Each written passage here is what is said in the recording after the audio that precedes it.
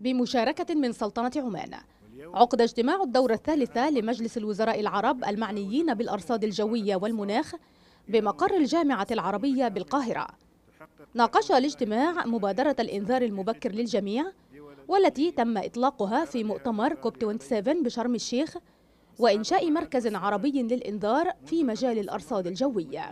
تقوم حاليا السلطنة بعقد العديد من الدورات في هذا المجال وبتشارك من الأعضاء من جامعة الدول العربية أو الدول العربية في الحضور لهذه الورش التدريبية ونقل خبرة السلطنة في كيفية التعامل مع الأعاصير المدارية وكذلك المنخفضات الشتوية والمنخفضات المؤثرة حقيقة المتطرفة مع وجود التغير المناخي أيضا. كما بحث الاجتماع المفاوضات الخاصة بتغير المناخ وإطلاع أعضاء الفريق العربي على المستجدات بشأنها قبل انعقاد مؤتمر الهيئات التابعة للاتفاقية الإطارية لتغير المناخ المقرر عقده في ألمانيا يونيو القادم.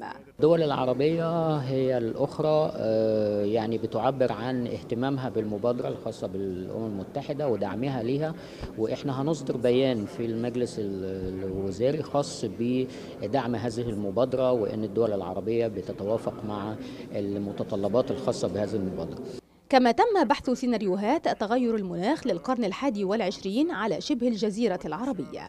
كما نلاحظ في الفترات السابقة هناك حالات جوية أثرت على كثير من الدول العربية كان لها آثار في كوارث طبيعية مثل السيول أيضا هناك حالات من الجفاف وتواتره أيضا هناك حالات من قلة الأمطار.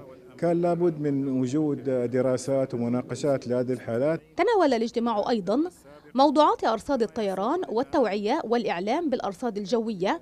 وإدارة معلومات مخاطر الطقس والمناخ. التغير المناخي خطر يهدد الإنسانية. وبحسب دراسات فإن المنطقة العربية تواجه التحديات في هذا الإطار. لذا باتت بحاجة إلى دراسات صديقة للبيئة محليا بالإضافة إلى التنسيق الدولي للحد من المخاطر المتوقعة. من جامعة الدول العربية بالقاهرة سحر صبري تلفزيون سلطنة عمان.